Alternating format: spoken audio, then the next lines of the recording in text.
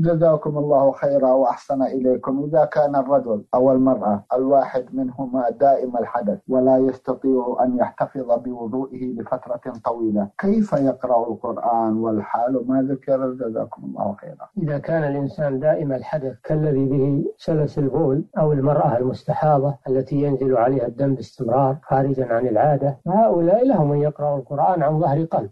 أما القراءة من المصحف فلا تجوز إلا إذا كان من وراء حائل أما لمس المصحف مباشرة فهو حرام. قوله صلى الله عليه وسلم لا يمس القرآن إلا طاهر. فإذا قرأ عن ظهر قلب فلا بأس. وكذلك إذا قرأ من المصحف لكن من غير أن يمسه مباشرة بل من وراء حائل. نعم.